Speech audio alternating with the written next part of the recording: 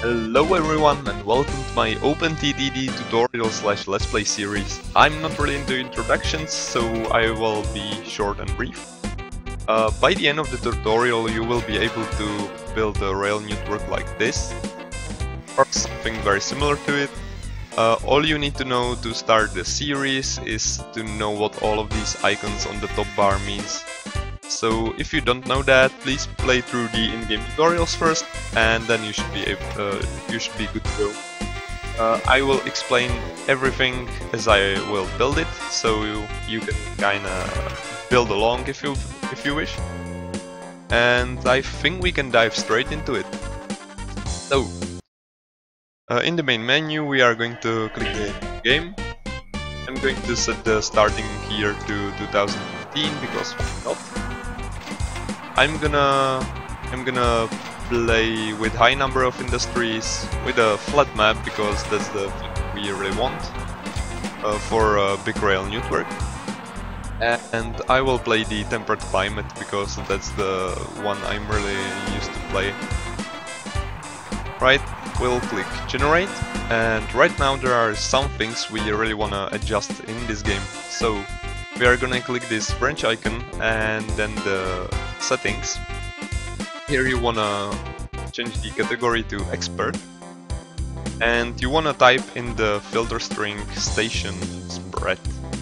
Uh, we wanna adjust this to at least 24 just so we uh, don't have to worry about stations. And we can also use it for station walking.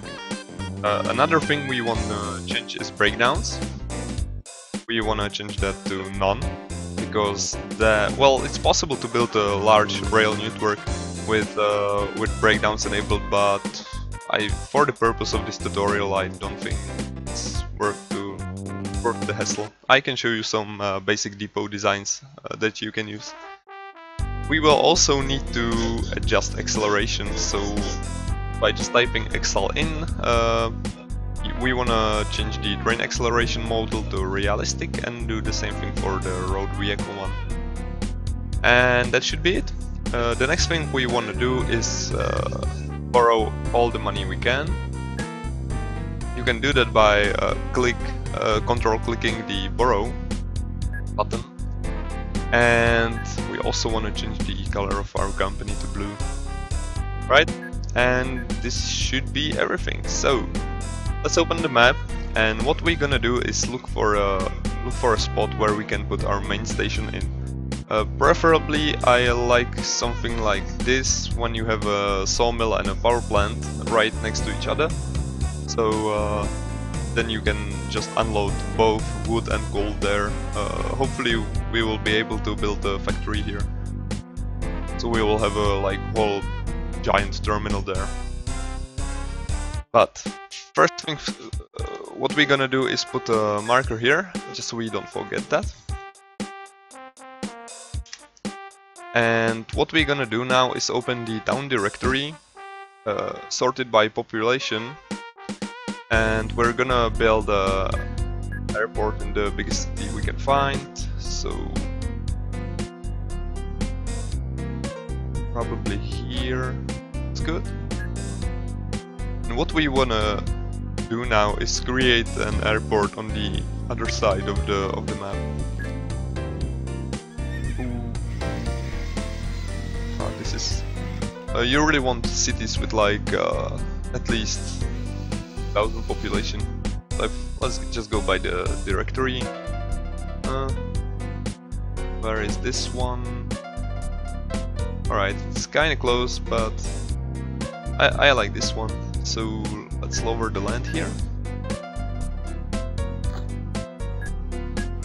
It's always a good idea to build some aircrafts first. Uh, here we're gonna sort it by cargo capacity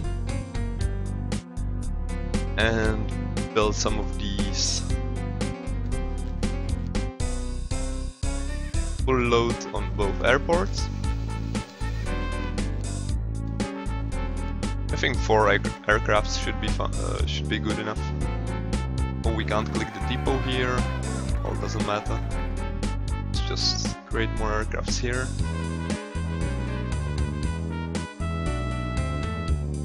Right.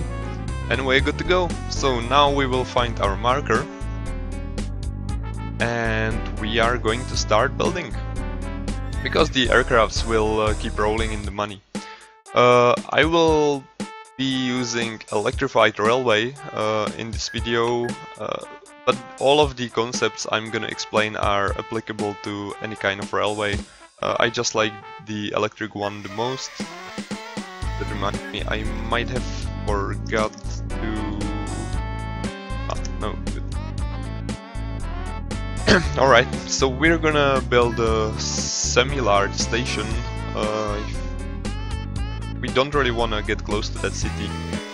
So we're gonna build it here probably. Uh, I'm using platform length of 4, so that means we will have 4 tile long trains. And what we're gonna do is create landmarks here so the city doesn't expand to, to our station because then you have to deal with all the like demolition of buildings and that's terrible. Right, so what we're gonna do now is uh, think where our railway should go. So right now I'm thinking it should go like north. Um, I think that's fine. We, we will connect like everything else to that. So let's start building. Uh, we are gonna, well, just to make things clear, uh, think of it like a road. Like we are going to make two tracks here. We are going to put signals on one. Oh, not this type of signal. So right now think of it like a road. The trains are going to go on that side, uh, going north, in that direction, and then they will come back. And what we really want to do is make the trains go to station like this, and then they will leave the station to go back back on, like, back to their uh, loading stations. so what we're gonna do is create a bridge, obviously. But we are going to connect uh, this side of the station to this railway and then we will do the same thing with with the uh, other side.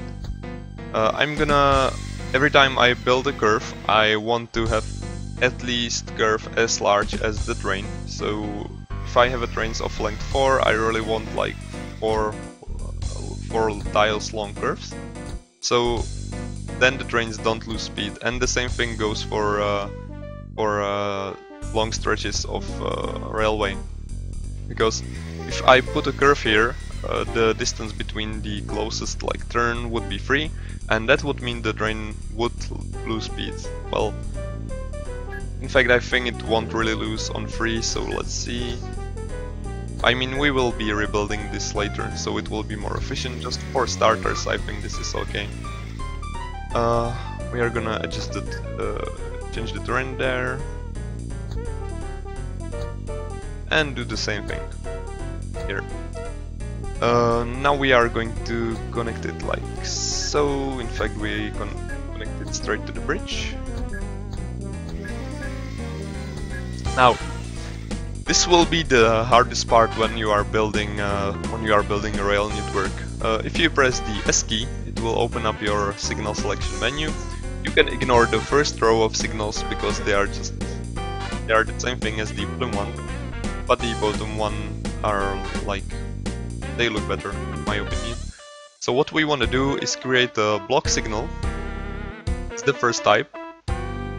Uh, then you want to set it in the direction as if you were driving on a road. If you are from the UK, you really want to, you know, put it in the wrong direction. And then what you're gonna do is control click the signal and drag it. And it will build signals every two tiles apart.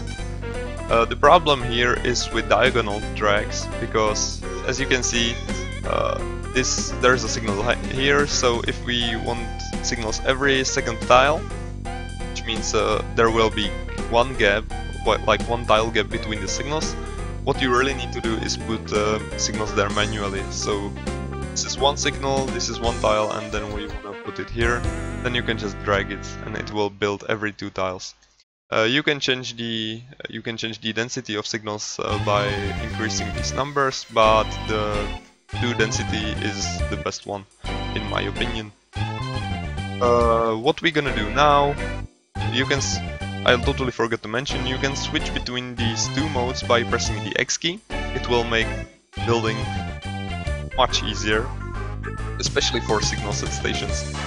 So what we're gonna do now is put a signal in the correct direction uh, at the end of each station and there we're gonna control click and drag again and we should be okay. So that's one side set up. We're gonna do the same thing for the other side, so put the, the block signal anywhere here, control click, drag it, but what we're gonna do now here is press R delete the signal and choose the path signal. Uh, it's the fourth one without the little box. And we wanna put it like so, so that the train has it uh, facing towards it. Uh, this is red by default, so don't be scared. It will work, it's not a problem. Uh, you can also change between all of these signal types by by uh, control clicking the signal. So it will cycle through all of these signals. So this is the pre-signal, this is the other pre-signal, uh, this is the combo pre-signal, there's the path signal and one-way path signal. Uh, I will explain what all of these signals do later, and in fact I will actively use them, so you don't really have to worry about that. Right. So, right now we got a station, and we need some other station where the trains will load their goods, and then come to this one little station. So what we're gonna do is uh, extend our railway. I usually just build it like side by side. There are people who don't do that. I don't know. I just I think it looks better. It's really about the uh, preferences. You can also build very far apart, like 10 tiles. It doesn't really matter. Uh, what we're gonna do now is connect this woods Oh, not this one, that's really bad. Let's connect something more far, uh, more further. Right, so just uh, build a railway. There's gonna be a bridge.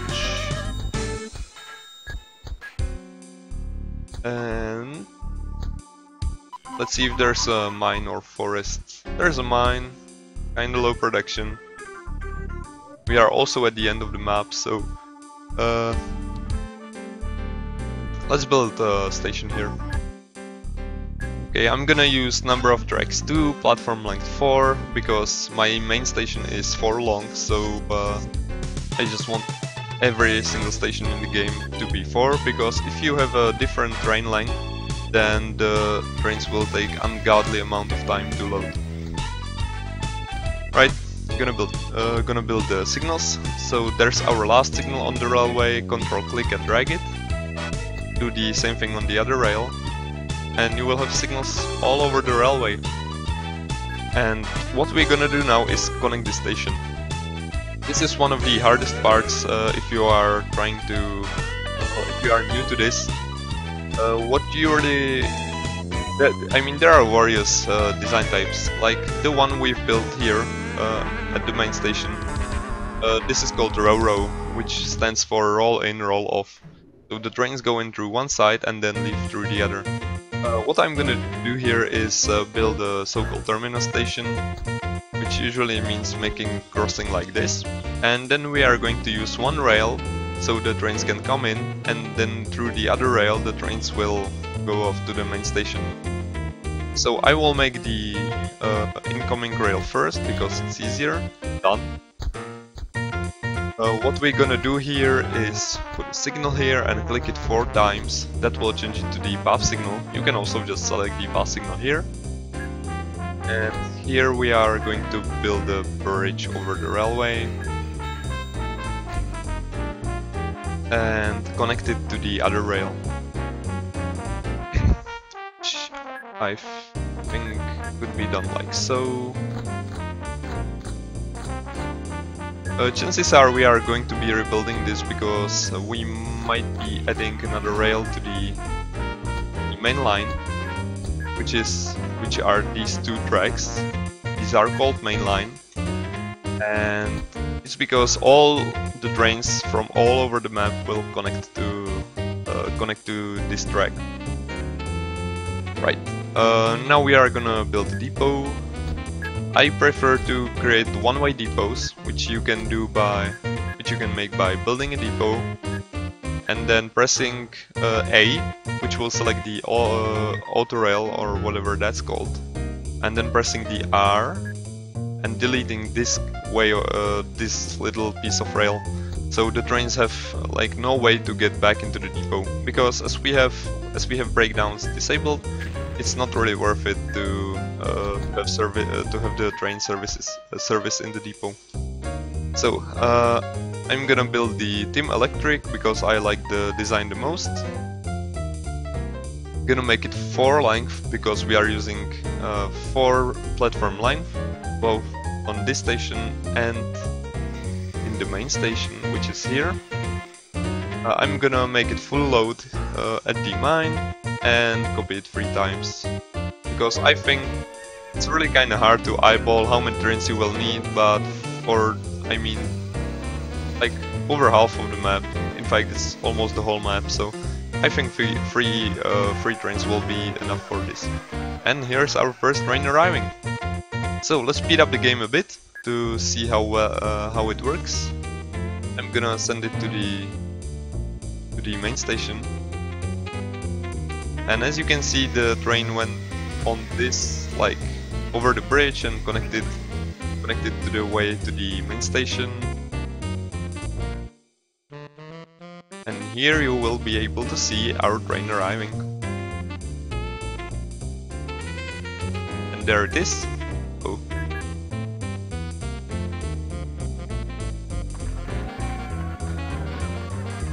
Now it will unload the coal and it's back on its way to the to the loading station or the coal mine. And it will connect on this rail to the station. Alright, uh, so that's our basic very basic railway. We got two stations here nothing really fancy here. Uh, I mean there are various designs how you can do the central station or the unloading station or whatever you wanna call that. Uh, I used the most simple one, we will most likely be rebuilding this later because we won't really have, this doesn't have the efficiency of the of like bigger stations but then that doesn't really matter for now because we don't know how many trains there will be on the track. So, I hope you enjoyed the tutorial or let's play uh, and I will see you soon. Have a good time.